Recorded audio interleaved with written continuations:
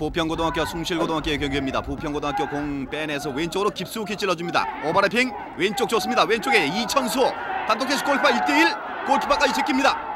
그대로 슛 골인 가볍게 밀어넣는 이천수 전반 12분 1대0 부평 한 점 앞서기 시작합니다.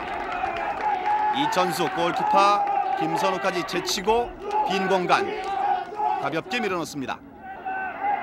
전반전 오른쪽 좋은 게 맞고 있는 부평 그대로 슛골인 최태욱 이천수의 패스 최태욱 가볍게 성공시킵니다. 뛰어나온 것을 보고 발끝으로 밀어넣습니다. 전반 34분 2대 0.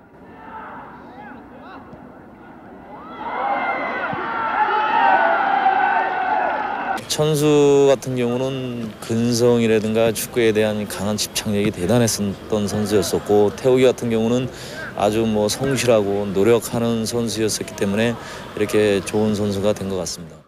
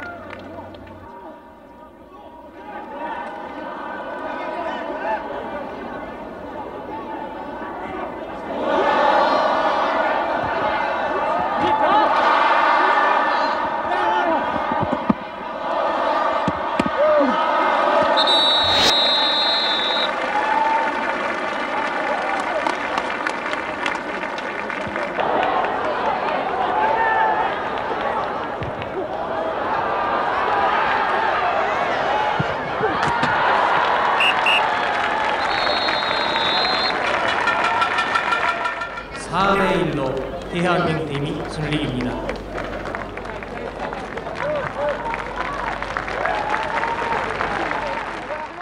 자, 2차전 경기에 한국과 이탈리아의 후반전 경기 아직 득점이 없는데요.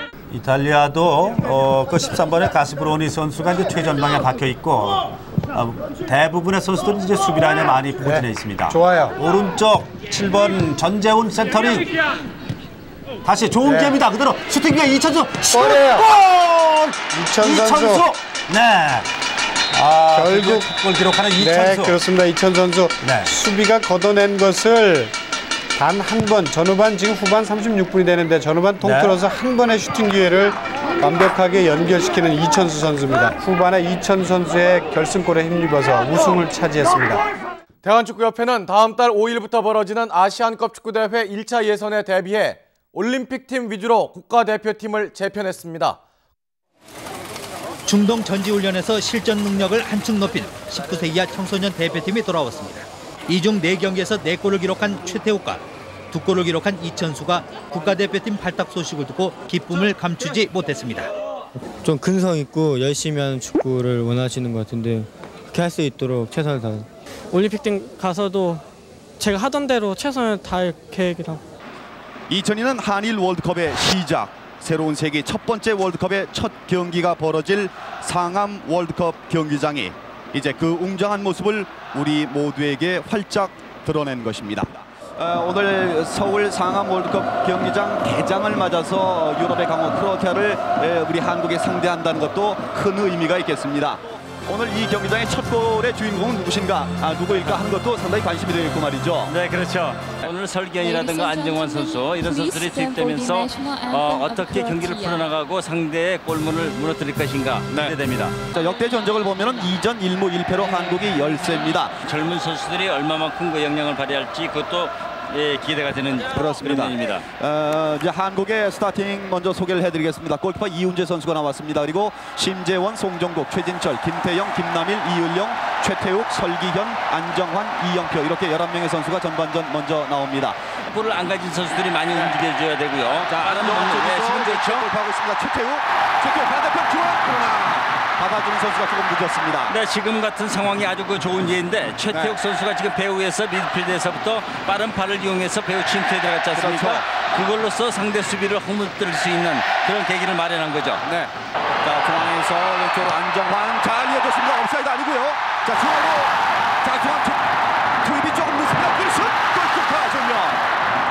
지금 아, 중앙에 투입이 늦으니까 설기현 선수가 왼발 슛을 그대로 날렸어요. 그렇죠. 지금 수비수가 많은 상황에서 최태욱 선수 혼자만이 지금 빠져들어왔거든요. 네. 중앙으로 이어갑니다. 김남일. 자, 안으로 이어줬습니다만 김태영 쫓아갑니다. 골키퍼의 백패스. 자, 골키퍼 부티나 일단 걷어낸다는 것이 한국 좋은 기회. 접어놓고. 자, 왼발 아 돌립니다. 자, 코너 부근까지 다시 한번 센터링 올라갑니다. 좋은 기회 헤딩. 뒤로 흘렀습니다. 다시 한번 좋은 기회. 네, 왼발. 슛. 골키퍼 막아냈습니다. 다시 한번 슛. 빗나갑니다. 아, 좋은 기회 아, 이영표. 선수인데요.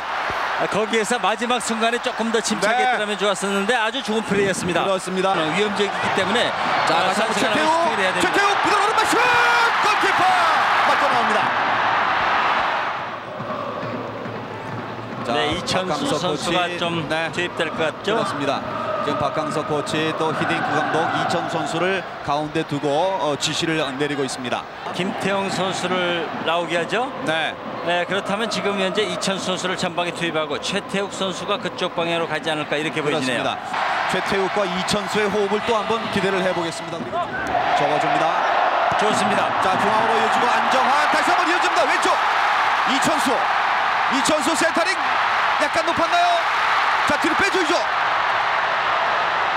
빼줬습니다 오른발 끌고 들어가면서 왼발 그대로 슛! 골! 최태욱 선수가 최태욱의 첫 번째 골 서울 월드컵 경기장의 첫 번째 골의 주인공은 최태욱이었습니다. 최태욱입니다 역시 과정이 좋았죠. 네, 그렇습니다. 과정이 좋으면 골이 들어갑니다. 네.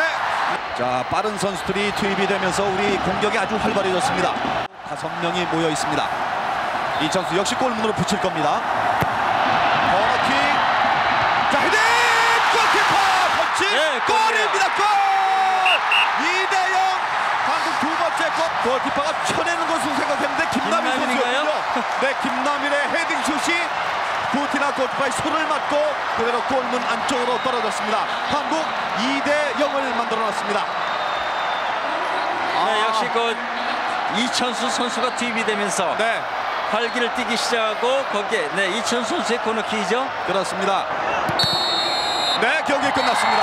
한국 서울 월드컵 경기장 개장 기념 경기에서 한국이 유럽의 강호 크로아티아를 2대 0으로 멋지게 승리를 거두었습니다.